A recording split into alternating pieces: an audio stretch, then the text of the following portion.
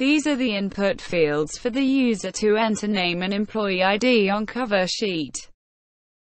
The start and stop parts of the barcode are already created. The barcode for the number is empty because not yet entered.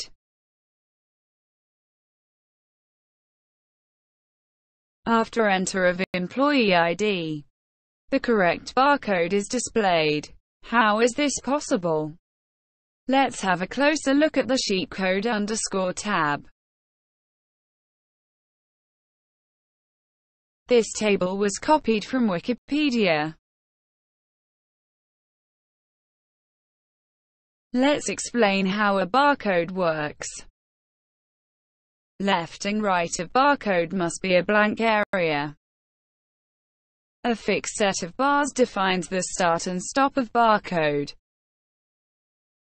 Each character is defined by a set of six alternating black, white bars, beginning with a black bar. After last character a check character is needed for validation.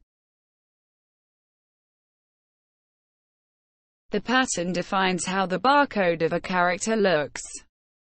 Let's give an example for the six bars of the character dollar.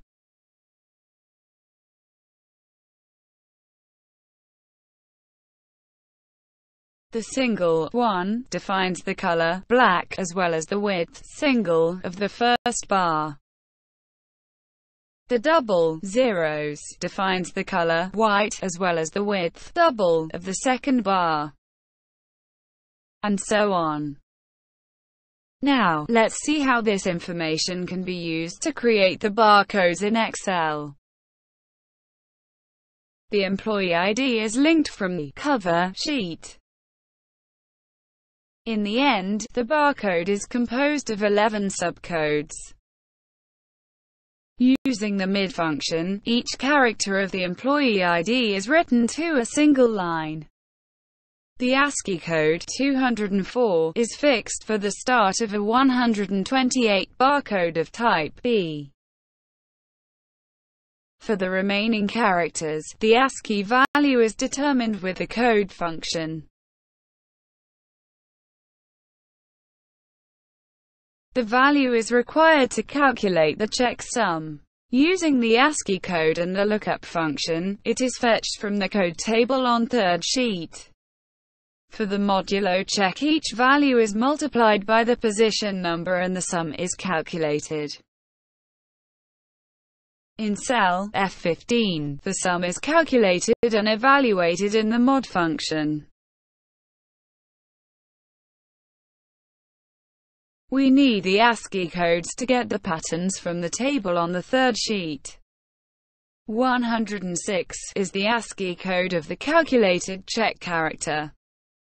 206 is the fixed stop code for a barcode 128 type B. The lookup function reads the corresponding pattern from the table on the third sheet. The last bar with a width of double is fixed entered here. The lines row position and string position contain formulas which are used below for the extraction of the needed 0 or 1 information. Each cell contain the formulas and functions to retrieve the corresponding value from the pattern column. At the end A1 or A0 is the result. With the help of the conditional formatting, cells with 1 are filled black and cells with 0 are filled white. On the sheet cover, the entire barcode is displayed as a linked image. You get this result with copy and paste special, as linked image. That's it. If you want, you can download the Excel using the link below.